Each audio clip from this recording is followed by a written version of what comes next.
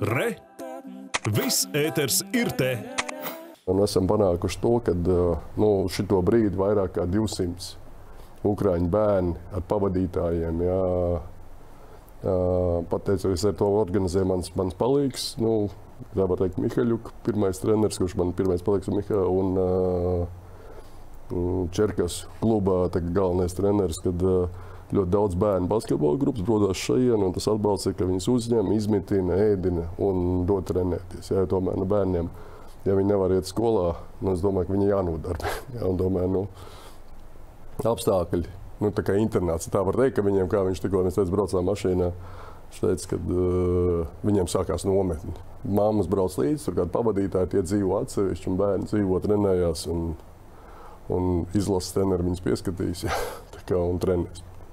Ja par Ukraiņas uh, izlasi, tad kāds aizlidoja atpakaļ, lai sargātu savu dzimteni? Jo... Treneris viens aizbrauc, uh, vakar bija gatavs vēl viens treneris, jā, bet šī brīdī es domāju, ka tas lielākais labums ir tas, ka viņš var dot, piemēram, nu, nevis nu, riskēt.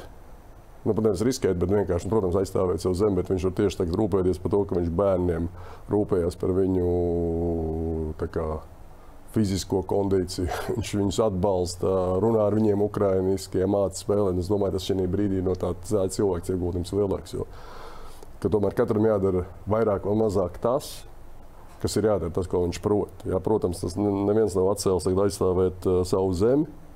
Es nekad nebiju domājis, ka es to teikšu, kā tu teici mūsu sarunas sākumā, 21. gadsimtā. tas joprojām liekas nu, gandrīz neiespējami, bet nu, tā tas ir. Ir jau tāds teiciens, ka veci cilvēki uzsāk karu un jauni cilvēki iet bojā.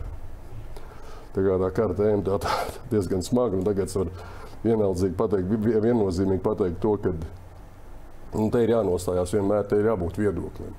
Te nevar būt tā, ka laipot, tā kā apsēties, ka tā ir liela daļa sabiedrības Krievijā, visi tie, kas dzīvoja no naudas, tie paši šaumaņi. Viņi saka, jā, viņi visi nosauca karu, bet vai kāds ir pateicis, ka Putins vainīgs, Kremlis vainīgs pie kara? Nē, mēs nosodām karu, karu nevajag. Karš nav, nav labs, jā, bet vai kāds ir pateicis, kas ir tas iemesls, kāpēc ir tā, tāda situācija? No kā man no Krievijas saņemta ļoti diezgan daudz tiešām nozīmē zvanus no kolēģiem, ja, no pazīstamiem. Ja, cits raud, pasaka atvainojiet, piedodiet.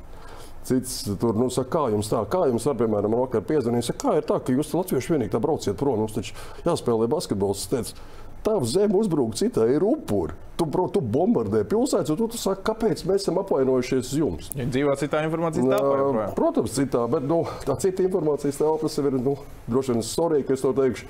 Viņi priekš aprobežotiem. Ja tu nemāki nu, lasīt starp rindām, saprast, neinteresēties to, kas notiek pasaulē, kā notiek pasaulē, tad tad, eh, nu, protams, to, to es ierobežots. Ja, tur, tas marasms, to, ko paklausās, tur pastāstīja Krievijas televīzijā, un to, kā tur izdomā, tur, nu, tas ir vienkārši šādi. Nu, jābūt cik aprobežotam, lai tam ticētu. Vai nu arī tu negribi nu, atzīt to, ka tā nav, jo tu zaudē naudu koncertus, uzstāšanos vai tā, vai tā tālāk, tā sportisti. Viss tas profesionālais sports Krievijā balstās tikai un vienīgi valsts naudu. Kaut viena privāta kompānija, kur iedos naudu, vispār jāsaka, ka cik Krievijā vispār ir privātās kompānijas. Viss saistīts ir ar gāzi, naftu, nu, teiksim tā, normāli pazūd. Nu, un dod sportam, protams. Un tāpēc tas sports pacēlies. Ne jau tāpēc, ka gudri treneri, baigais resurss, muļķības viss tas ir.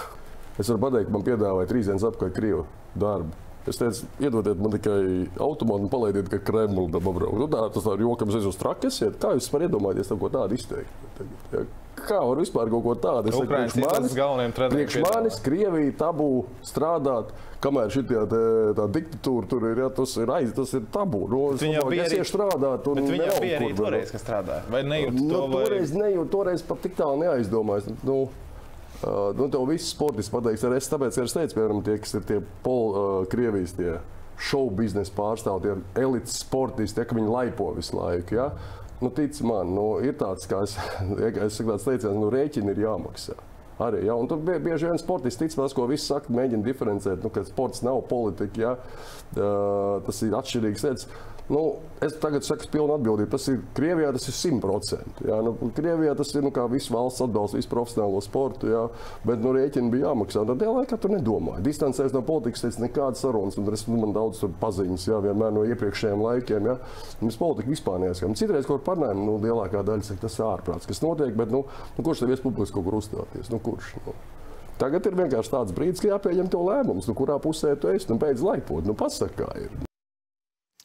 Pilna saruna video formātā, sporta studijas YouTube kontā, bet tie, tie kas varbūt grib skriet krosiņu vai kāds tālāks ceļš priekšā, arī audio formātā, tā saruna pieejama Spotify un Apple podkāstu platformā.